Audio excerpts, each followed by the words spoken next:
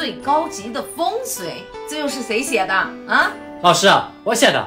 风水好不好，这个要怎么去判断呢？好吧，今天就给大家上节风水课，听完之后，相信你们都会懂风水。如果你掌握了最高级的风水方法，那你这辈子做事儿都会很顺。什么是风水呢？有形的风水分三个层级：一流风水看北斗，二流风水看水口，三流的风水背着罗盘满山走。这是有形的风水，还有一种叫无形的风水，就是我们人心中自身的风水，也叫心灵的风水。给大家讲个故事，说有一位有钱人买了块地，盖好了别墅，这后院种了很多棵百年的荔枝树。他当初买这块地的时候，就是相中了这些荔枝树，因为他的老婆特别喜欢吃荔枝。在装修期间，朋友都劝他。你找个风水先生看看吧，以免犯冲。原本不怎么信风水的有钱人，这次居然表示同意。于是他专程去香港请了一位风水师。这位风水师从事这一行有四十多年，听说在国内有很大的名气，好不容易才请到。说这二人在火车站吃过午饭后，这有钱人开着车带着这位风水师就前往了自己的住宅。这一路上。每当后面有车要超越自己车的时候，这有钱人都是避让。风水师笑道：“先生，你这车开的是真稳当呀。”有钱人哈哈一笑说：“这要超车的多半都是有急事儿，可不能耽误了人家。”不一会儿，车啊就开到了镇上，街道呢也变得更窄了。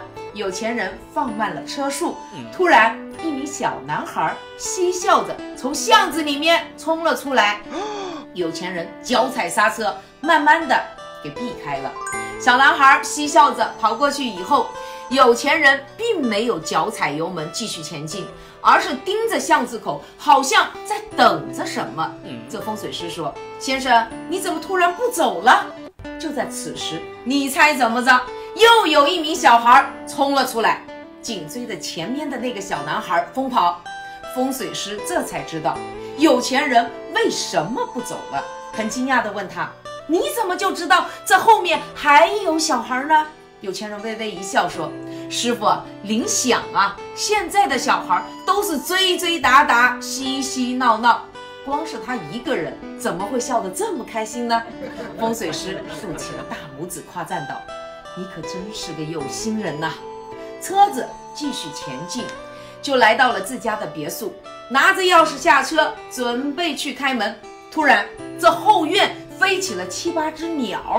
见到这种情况，有钱人就停在了门口，抱歉地跟风水师说：“师傅，麻烦您再等等，我们先不进去。”风水师就不解地问：“我们都已经到门口了，为什么不进去呢？”有钱人就解释说。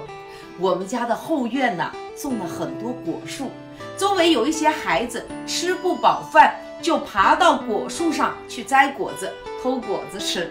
如果我们突然出现了，孩子受到了惊吓，摔下来就不好了。先让他们摘一会儿吧，我们啊，先在外面看一看，等他们摘完了，我们再进去。说完这个话，风水师沉默了片刻，说：“你送我回车站吧。”你们家的风水我不用再看了。这回有钱人不解了，他说：“为什么不看了？”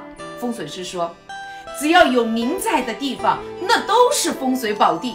百般算计不如积德行善，处处刁难不如与人结缘。其实人的行为就是风水。